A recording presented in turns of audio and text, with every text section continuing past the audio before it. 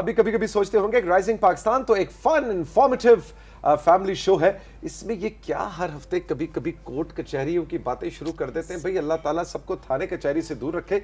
लेकिन हमारी कोशिश ये होती है कि आपको पाकिस्तान के कवानीन पाकिस्तान के आइन के हवाले से भी इंफॉर्मेशन देते जाए। वाकई रेबेका अल्लाह कभी किसी को थाने कचहरी की तरफ़ ना लेके जाए। हम दूर रहें लड़ाई झगड़े से यू नो किसी भी कानूनी चारजोई से कोई आप पे केस करे आप हम्म। किसी पे केस करें अल्लाह कभी ऐसा ना करे।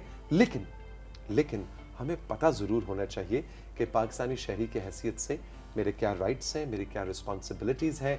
अगर मुझसे कोई जुर्म सरजद हो गया है या किसी ने मुझ पर कोई जुर्म सरजद किया है तो उसका क्या हल है? मैंने किस तरह से कानून से इस्तेफादा करना है? और इसीलिए कोर्ट कचहरियों की माहिर जुगनू काजमी और महम जमाल गाहे गाहे हमारे शो में आती रहती हैं। अस्सलाम वालेकुम गुड मॉर्निंग। अस्सलाम वालेकुम क्या हाल चाल हैं आप दोनों के? बिल्कुल ठीक ठाक। वैसे ये जिस तरह अभी तौसीक ने बात की है माम के हम बहुत इंपॉर्टेंट होता है कि हम ज़रूरी नहीं है कि कोर्ट कचहरी से खुदा ना खास्ता अगर आपका वास्ता पड़ता है उसके हम्म। बाद ही जो है आपको पता होना चाहिए कि हम्म। किस तरह से आगे चीज़ें करनी है।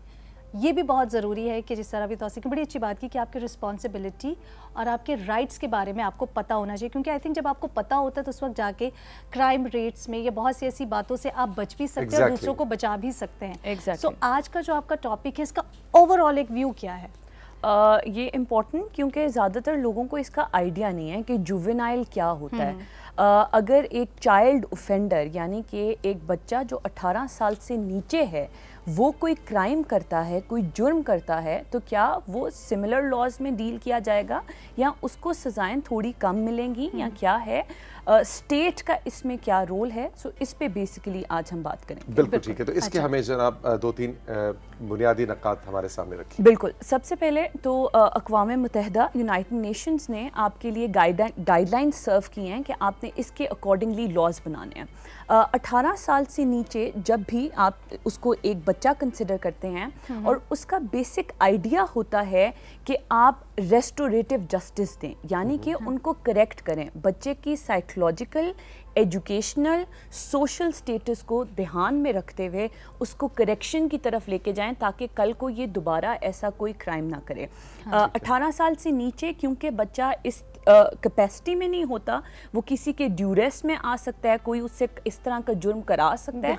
सो so, इस वजह से इसका बहुत ज़्यादा ध्यान रखना पड़ता है कि आप उसको करेक्शन की तरफ़ लेके जाएँ ना कि आप उसको इतनी सख्त सजा दें कि वो दोबारा से इस तरह का क्राइम करे या, ढीठ हो जाए और अच्छा भाई अब तो फिर मैं अभी तो मैंने एक दफ़ा किया था जरा मुझे बाहर जाने दो। Exactly exactly. छह दफ़ा और करके कि रिटेलिएट करे रिटेलिएशन ना करे और इस वजह से इसका बेसिक आइडिया जो है ना उसकी साइकोलॉजिकल नीड्स को मद्देनजर रखते हुए एक तो आपको पता है कि 18 साल से नीचे बच्चे डर जाते हम्म। हैं प्रेशर में प्रेशर में आ जाते हैं हम्म। वगैरह वगैरह। सो उस वजह से उसको सब सामने चीज़ों को मद्देनजर रखते हुए ये कानून में लीनियंसी दी गई है बच्चों को। अच्छा। यानी वही जुर्म जो एक बड़ा करेगा उसकी सजा और वही जुर्म एक बच्चा करेगा उसमें फ़र्क है पाकिस्तान बिल्कुल। बिल्कुल जी रुपए अच्छा किस तरह से आ, मेरा सवाल है कि इसको डिफ्रेंशिएट कैसे किया जाता है? जैसे ऑफ़ कोर्स बच्चा प्रेशर में आ गया वो तमाम तर कार्रवाई के बाद जो है वो एक नतीजा निकलता है। तो जब बच्चे को पेनल्टी या सज़ा दी जाती है तो वो किस तरह से देखा जाता है? बच्चे की एज 18 साल से हम्म। कम है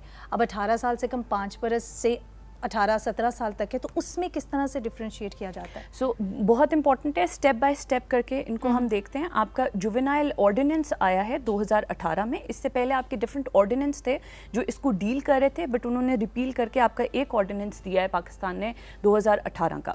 सबसे पहले अगर बच्चा क्राइम कमिट करता है सो उसके बाद कोई भी इंसान क्राइम कमिट करे आपको पुलिस पकड़ती है। हम्म। अब यहाँ पे जब आपको पुलिस पकड़ती है आपको पुलिस थाने में डिटेन किया जाता है। लॉ ने ये बहुत क्लियर बात रखती है कि आपको थाने में किसी एडल्ट के साथ यानी कि जो 18 साल से ऊपर मुजरिम है उसके साथ आपको मिक्सअप नहीं कर सकते उनके साथ आपको डिटेन नहीं करेंगे।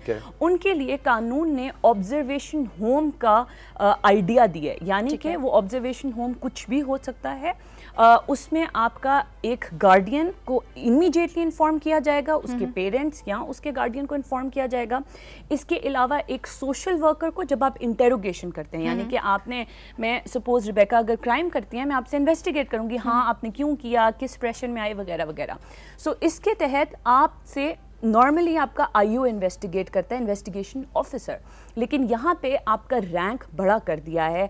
आपका सब इंस्पेक्टर या उसकी गाइडेंस के अंदर आप अ, जो है इन्वेस्टिगेशन करेंगे। इसके साथ साथ आपका सोशल वर्कर भी साथ होएगा जो कि बच्चे की साइकोलॉजिकल सोशल नीड्स को सामने रखेगा। ताकि उसके हाँ, इंटरोगेशन में कोई इस तरह से इंटिमिडेटिंग सवाल तो नहीं किए जा रहे जिससे वो मुजरिम है या नहीं है वो तो बात की बात है। Exactly. आ, लेकिन वो प्रेशर में आके बिल्कुल ठीक। थे यानी कि उसकी जो नफ्सियात है उसको भी उसकी नफ्सियात को सामने रखना है। और आपको पता है कि अक्सर आप इन्वेस्टिगेशन करते हुए आप कुछ ऐसे ड्यूरेस में आ जाते हो कि आप कोई ऐसी बात कर दो हम्म। कि जो आपके अगेंस्ट अगर कोई इन्वेस्टिगेशन में आ जाए।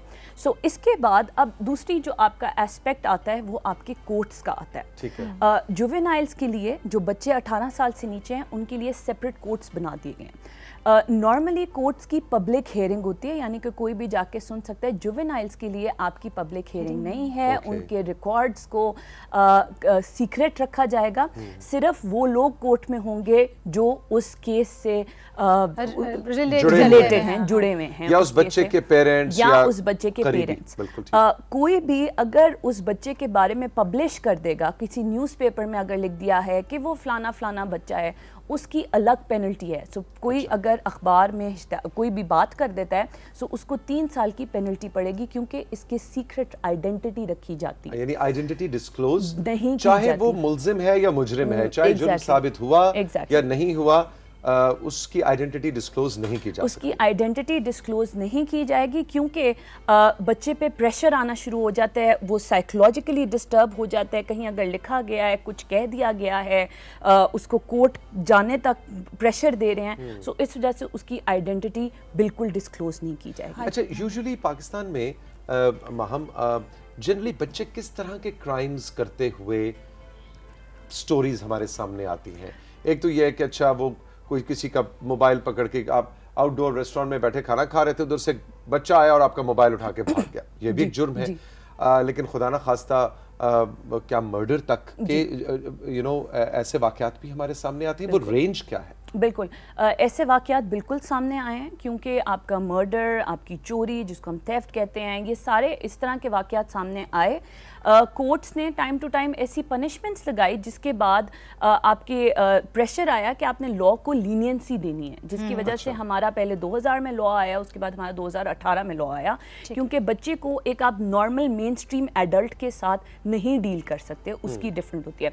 सो बिल्कुल ऐसी बात है कि आपके जो बच्चे हैं इस तरह के क्राइम्स करते हुए मेजर क्राइम्स जिनको हम कहते हैं जिसमें कत्ल आपकी चोरी आ, ये करते हुए नज़र आए हैं। हाँ वो किसी के प्रेशर में थे या क्या थे किसी के साथ मिल के कर रहे थे वो भी डिफरेंट आइडियाज़ हैं उसके। अच्छा इसी के साथ माहम जिस तरह क्राइम का क्योंकि वो वेरी करता है जी, जी, जी। बच्चे ने क्राइम किस तरह का क्राइम जो है जी। सरजद हुआ जी, जी।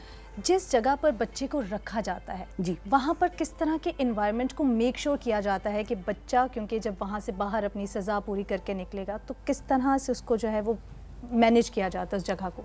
बिल्कुल सो यानी जैसे कि मैंने कहा जी, जी ज- जैसे कि मैंने कहा कि उनके सेपरेट जेल्स होते हैं अगर है। उनको जेल में रखा गया है और उनकी सोशल वेलबींग का बहुत ख्याल रखना है। आपका आइडिया डिस्ट्रीब्यूशन का नहीं आपका आइडिया रेस्टोरेशन का है यानी कि इसको रिस्टोर करना है हमने सही इंसान बना के इसको सोसाइटी में ब्लेंड इन करना है उसकी एजुकेशन देनी है वगैरह वगैरह। इसीलिए आपकी जो सज़ाएँ हैं इसमें वो डाइवर्जन का आइडिया रखती हैं। यानी कि बजाय कि उसको मेन स्ट्रीम सज़ाएँ दें आप डाइवर्ट कर सकते हैं। उससे अपोलॉजी ले सकते हैं बच्चे से अ, उसके गार्डियन से। आप अ, कोई अ, ऐसा कॉन्सेप्ट है कि मूवेबल प्रॉपर्टी आप दे सकते हैं कि अच्छा ठीक है इसने क्राइम किया है तो जिसका नुकसान हुआ है आप उसको ये दे सकते हैं। अ, आप एजुकेशन में उसको डाल सकते हैं कम्युनिटी सर्विस में आप उसको डाल सकते हैं अगर वो बहुत ज़्यादा मेजर क्राइम नहीं करता। अ, इसमें एक बहुत इंपॉर्टेंट जो बात सामने आती है कि डेथ पेनल्टी जो है वो बच्चे को नहीं आप लगा सकते। ठीक okay. यहाँ तक कि आप हथकड़ी के साथ बच्चे को नहीं लेके जा सकते अदालत में। सो Okay, so, okay. आपने ये चीज़ें बहुत ध्यान रखनी है। 16 साल से अगर बच्चा ऊपर है क्योंकि आपको पता है कि 16 साल में वो फिर एक अटेन कर जाता है स्टेटस 16 साल से अगर ऊपर है बच्चा उसके बाद कोर्ट देखता है कि अगर ये वाकई ही प्रॉब्लमाटिक है ये भाग सकता है तो फिर हैंड कफ की इजाज़त आपको दी गई है। लेकिन 16 साल से कम उम्र शायद इसलिए भी कि उसने जुर्म किया है या नहीं किया या उसका जुर्म कितना बड़ा है वो उसकी फॉर्मेटिव एज फॉर्मेटिव एज है। exactly. उस वक्त उसके जहन जैसे हम किसी जैसे कहते हैं जहन साजी हो रही है उसकी शख्सियत साजी हो रही है और उसको हथकड़ी लगना चाहे उसको जुर्म की सजा मिली और वो करेक्टिव प्रोसेस से भी गुजर गया। Exactly. लेकिन वो लम्हा शायद पूरी ज़िंदगी के लिए नफसियाती तौर पर उस पर बहुत बड़ा असर छोड़ जाए Exactly. जो उसको हथकड़ी लगाई गई बिल्कुल। Thank you very much Maham ये तो इतना बड़ा सब्जेक्ट है कि इस पर हम बात करते चले जाएँ लेकिन आज इस पे बात करना इसलिए भी ज़रूरी था ताकि हमारे नाजरीन को पता चल सके कि बच्चों के जराइम के हवाले से पाकिस्तान के कवानीन क्या कहते हैं। और अगर कोई मुलजिम या मुजरिम बच्चा है तो उसको हैंडल कैसे किया जाएगा? वैसे हम थोड़ा सा ये भी आपको बताते चलें कि मुलजिम और मुजरिम में फ़र्क आप सभी को मालूम होना चाहिए कि मुलजिम वो है जिस पे अभी कोई इल्ज़ाम लगा है। अभी वो प्रूफ नहीं हुआ उसका क्राइम प्रूफ नहीं हुआ। और अगर क्राइम प्रूफ हो गया है तो फिर वो मुजरिम। क्यों? हाई कोर्ट की मायनाज लॉयर साहब मैंने ठीक मैं बड़ा के लॉयर बन सकता हूँ वैसे। आप अभी भी पूरे पूरे हैं। अच्छा ये इनडायरेक्ट मैसेज दिया है कुछ। देखिए पैरेलल पैरेलल कैरियर्स की आजकल दुनिया भर में बात हो रही है। है ना? तो अब ये हमेशा अब पता लगे मतलब कल को पीटीवी के अच्छा भाई चलो छुट्टी करो। कोई और काम और तो करे? प्रोफेशनल तो होना चाहिए मेरे पास है ना? बिल्कुल बिल्कुल। और कहीं हमारे केस तो सीख लड़ रहा है। Thank you very much. हम बढ़ते हैं आपके कुछ सोशल मीडिया मैसेजेस की जाने इसलिए कि हमारे जो दो आज के मेन गेस्ट हैं वो आ चुके हैं और अपने गिटार्स के साथ बैठे हुए हैं और आपने हमारे व्हाट्सएप नंबर पर ये भी बताना है कि वो कौन है आपने गेस्ट भी करना था कि वो पाकिस्तान के किस बड़े लीडिंग सुपरस्टार म्यूजिशियन के साहबजादे हैं। बहुत से अच्छे अच्छे से मुराद बहुत से दुरुस्त जवाब आ चुके हैं। अभी उन पर भी बात करेंगे लेकिन रिबेका के पास इस वक्त एक बुके है एक Yes. गुलदस्ता है मैसेजेस का। सो उसकी तरफ़ बढ़ते हैं। उस बुके को डिस्क्लोज करने से पहले ओपन करने से पहले एक इतना खूबसूरत मैसेज आप लोगों की तरफ़ से उसके लिए बहुत शुक्रिया लेकिन वो मैंने लास्ट में रखा सबसे अच्छी चीज़ कहते हैं ना लास्ट में चखनी है तो वो लास्ट में था लेकिन सबसे पहले बढ़ते हैं मेरा और माहम का दूसरा वैसे ख्याल है। हम तो अच्छी चीज़ पे सबसे पहले टूट के पड़ते हैं। अरे लास्ट में अभी आप देखिएगा आप कहेंगे रिबेका तुम्हारा डिसीज़न बड़ा सही था। जो पहला मैसेज है वो बुशरा वफा शाह का है। कलर कोड से बहुत शुक्रिया बुशरा। शाहजेब रियाज सवाती आपने इस्लामाबाद से मैसेज किया है महविश अ, साहिवाल से अरकीब बजट आपने चीचा वतनी से फीडबैक शेयर किया है। Thank you so much Bilal. इसके अलावा आप, बिलाल, कहते हैं, हरीपुर से शो बहुत अच्छा है। मनाहिल अरीज कोटली सतिया से आप प्रोग्राम को पसंद करते हैं और खतीजा इस्लामाबाद से हमारे साथ हैं। इसी के साथ जो है वो बढ़ते हैं आपकी कुछ वीडियोज़ और मैसेजेस की जानब, जिसमें आपने कुछ पिक्चर्स भेजी हैं। सबसे पहले जो पिक्चर्स वाले आपके मैसेजेस हैं, उसकी जानब बढ़ते हैं। जुनेद फ्राम हज़ारा, आपने कुछ तस्वीर भेजी हैं। आइए आपको दिखाते हैं कि जुनेद ने कौन सी तस्वीर हमें भेजी हैं और वो उन पिक्चर्स में क्या दिखाने जा रहे हैं हम। जी हजारा से हजारा से जुनेद की कौन सी तस्वीर है? जी कंट्रोल रूम अभी हम दिखा रहे हैं या आपको अभी कुछ वक्त दरकार है? जुनेद की स्टिल पिक्चर्स में अभी कुछ वक्त था और जो कि खत्म हो गया। वाओ दिस इज़ ब्यूटीफुल ये क्या है? ये ये जो भी है बहुत खूबसूरत है। ये को आर्ट वर्क है। है ना जी? और गोल्डन स्प्रे हुआ हुआ है। ये मुझे लग रहा है कि घर की वो चीज़ें जो कि इस्तेमाल में नहीं रहती जी। आर्ट वर्क बनाया। बनाया हुआ है जुड़ा और ये सारा मार्कर से तोसीक यूज्ड मार्कर्स जो है ये वो है और उसके ऊपर उनको पेंट किया हुआ है या कलर स्प्रे जो होता है वो करके देखें कितनी खूबसूरत सीनरी बनाई गई है। ब्यूटीफुल और अभी आज हम गुड न्यूज़ में भी प्लास्टिक जी, ज़हरा लाहौर से जो आर्टवर्क भेजा बात कर रहे थे तो इन्होंने देखे प्लास्टिक को कूड़े की नज़र करने के बजाय उसको एक आर्ट वर्क बिल्कुल आई थिंक कि ज़हरा का लाहौर से आर्टवर्क भी इस वक्त आई थिंक हमने इसको अच्छा, ज़हरा का आर्टवर्क था लाहौर से? आई तो थिंक हमें हज़ारा कंट्रोल रूम में बताएँगे ये हमें कंट्रोल रूम में बताएगा कंट्रोल रूम हजारा कितने गया? ओके हाँ चलो ठीक है। चले मीनवेल हम अभी आगे चलते हैं। जी अच्छा मज़े की सबसे खूबसूरत बात है कि हजारा भी खामोश है हाँ। और कंट्रोल रूम भी खामोश है है ना? सब खामोशी हाँ, चले तो नहीं गए किधर? वो कह रहे हैं नाश्ता वाश्ता ओ नहीं नहीं है है अच्छा ठीक है। हाँ जी कुछ बोले ताकि हमें पता चले। कह रहे कुछ बोल ओके वो कह रहे जी मिसपा भिजाए इसका मतलब वो कह रहे हैं कि हम आगे आगे। जिप जिप मूव ऑन जी बिल्कुल आगे कुछ आपने वीडियोस भी हमें भेजी हैं वो आपको बताते हैं कि वो वीडियो किसने है। शिफाज फ्रॉम चित्राल और इसी के साथ शहजादी। जो है वकार फ्रॉम कश्मीर ये बहुत दो खूबसूरत वीडियोस हमारे पास आई हैं। वो वीडियोस हम ये दो वीडियोस हमारे कंट्रोल रूम ने उनको जोड़ दिया है। वो कह रहे हैं क्योंकि बहुत शॉर्ट थी 17 सेकंड और 23 सेकंड तो, की तो उनको जोड़ के एक वीडियो बनाया है। आइए जनाब देखते हैं आपकी भेजी हुई खूबसूरत प्यारे पाकिस्तान की कुछ लेटेस्ट वीडियोज़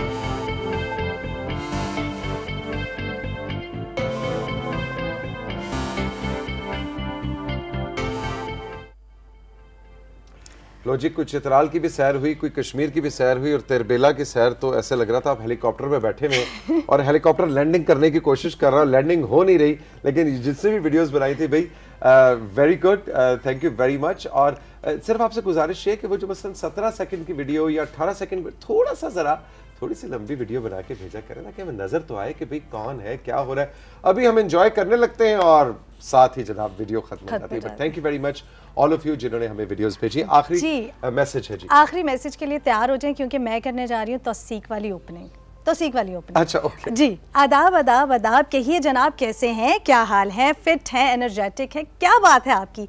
मैंने सोचा क्यों ना ये कहने वालों से आज रबता किया जाए। शुक्रिया कि आपने रबते का ज़रिया आसान कर दिया। राइजिंग पाकिस्तान की पूरी टीम बेशक वो तोसीक हों या उनकी क्लास फेलो नवेरा हो काशिफ हो, सबीन या रिबेका हो, छोटी फ़ातिमा हो या बड़ी फ़ातिमा, अच्छी खाला हो या अमारा हो, अवैस भाई का स्पोर्ट्स का सेगमेंट हो या इरम ने जो होम डेकोर के जो आइडियाज़ देने होते हैं वो लाइट्स वाले हजरात हों या कंट्रोल रूम के साथ ही मुकेश हों या कोई और प्रोड्यूसर हों।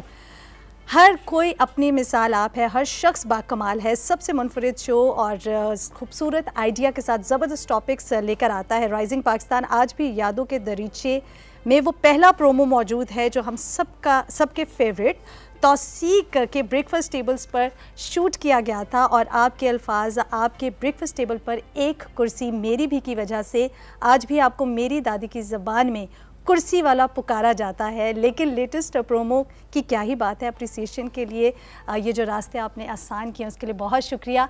और वो इस चीज़ को बहुत ज़्यादा इम्फोसाइज कर रहे थे कि उनकी दादी कहती हैं कुर्सी वाला जवाब कहते हैं ना आपकी टेबल पे एक कुर्सी मेरी भी। बहुत बहुत शुक्रिया इतना खूबसूरत आपने हमें मैसेज भेजा और इनका नाम है? जी बिल्कुल इनका नाम मुझे हमारी टीम ने लिख कर दिया ही। दिया है? No from rising Pakistan to rising Pakistan अगर हमें कंट्रोल रूम बता सके आई डोंट थिंक सो नहीं बहुत बहुत शुक्रिया। मिसबा मिसबा निमरा फ्रॉम अटक अटक से miss bar Nimra thank you very much इतना खूबसूरत आपने मैसेज इतना अच्छा ओवरव्यू पिछले तीन साल के हमारे शो का yes. दिया। लेकिन मुझे बहुत अफसोस है मैं नाराज़ हूँ मिस बार निमरा से कि उन्होंने माहम जो हमारे सामने बैठी हुई है उसका नाम नहीं लिख के भेजा। माहम मैं भी बहुत नाराज़ हूँ। बहुत तो नाराज़ अच्छा और जब जब रेबेका नाम पढ़ रही थी तो माहम कह रही थी अभी अभी, मेरा अभी आया मेरा नाम अभी आया मेरा नाम। नहीं माहम तो मिसबा और निमरा आपको माहम का सेगमेंट आज का कैसा लगा कितना इन्फॉर्मेटिव इन्फॉर्मेटिव लगा इसका आप हमें स्पेशल अलग से मैसेज लिखकर भेजेंगे। थैंक यू वेरी मच बहुत बहुत शुक्रिया आपके मैसेजेस का चल खेलेंगे राइजिंग पाकिस्तान में एक छोटा सा ब्रेक ब्रेक के बाद हमने खेलना है म्यूज़िक म्यूज़िक और इतने ज़्यादा आपके जवाब आए हैं। कि सबको शामिल करना मुश्किल है, लेकिन पाकिस्तान के एक super duper music rock star के साहबजादगान आज हमारे साथ मौजूद हैं, जो खुद भी आर्ट की दुनिया में क्रिएटिव दुनिया में म्यूज़िक की दुनिया में प्रोडक्शन म्यूज़िक प्रोडक्शन की दुनिया में बहुत मज़े का, दिलचस्प काम कर रहे हैं। उनके इस काम को अनफोल्ड करते हैं और फीचर करते हैं इस ब्रेक के बाद।